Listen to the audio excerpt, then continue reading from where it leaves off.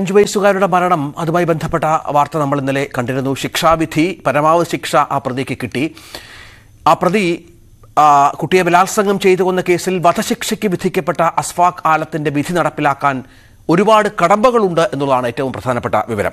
വിവിധ കേസുകളിലായി കേരളത്തിലെ ജയിലുകളിൽ വധശിക്ഷയ്ക്ക് വിധിക്കപ്പെട്ട് കഴിയുന്നത് ഇരുപതോളം പേരാണ്. മുപ്പത്തിരണ്ട് വർഷം മുൻപ് ആയിരത്തി തൊള്ളായിരത്തി റിപ്പർ ചന്ദ്രന്റേതാണ് സംസ്ഥാനത്ത് ഏറ്റവും ഒടുവിൽ നടപ്പിലാക്കിയ വധശിക്ഷ എന്നും പ്രേക്ഷകർ മനസ്സിലാക്കണം. കേരളത്തിൽ വധശിക്ഷ നടപ്പാക്കാനുള്ള സൗകര്യമുള്ളത് പൂജപ്പുര കണ്ണൂർ സെൻട്രൽ ജയിലുകളിൽ മാത്രം. സംസ്ഥാന രൂപീകരണ ശേഷം ഈ രണ്ട് ജയിലുകളിലുമായി ആകെ തൂക്കിലേറ്റപ്പെട്ടത് ഇരുപത്തിയാറ് കുറ്റവാളികൾ.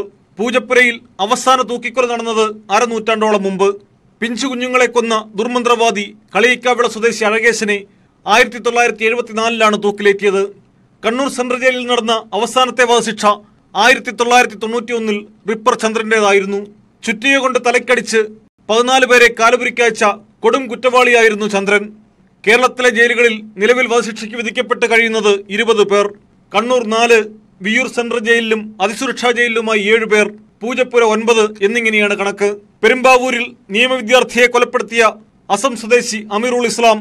ആറ്റിങ്ങൽ ഇരട്ടക്കൊലക്കേസ് പ്രതി നിനോ മാത്യു. തിരുവനന്തപുരം ഫോർട്ട് സ്റ്റേഷനിലെ ഉരുട്ടിക്കൊലക്കേസ് പ്രതിയും മുൻ എ എസ് ഐയുമായ ജിതകുമാർ.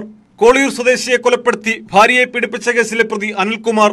കുപ്രസിദ്ധ ഗുണ്ട ജറ്റ് സന്തോഷിനെ കൊലപ്പെടുത്തിയ കേസിലെ പ്രതികളായ ജാക്കിയനി എന്ന അനിൽകുമാർ അമ്മയ്ക്കൊരു മകൻ സോജു എന്നറിയപ്പെടുന്ന അജിത് കുമാർ എന്നിവരൊക്കെ തൂക്കുകയർ കത്ത് കഴിയുകയാണ്. കോടതി തൂക്കുകയർ വിധിച്ചാലും അപ്പീലും ദയാഹർജിയും നൽകാൻ പ്രതിക്ക് അവസരമുണ്ട്. രാഷ്ട്രപതിക്കുള്ള ദയാഹർജിയും നിരസിക്കപ്പെട്ടാൽ മാത്രമാണ് വധശിക്ഷ നടപ്പാക്കുക. സംസ്ഥാനത്ത് നിലവിൽ ആരാച്ചാറില്ല എന്നതും ശിക്ഷ നടപ്പാക്കുന്നതിന് വിഘാതമാകുന്നു.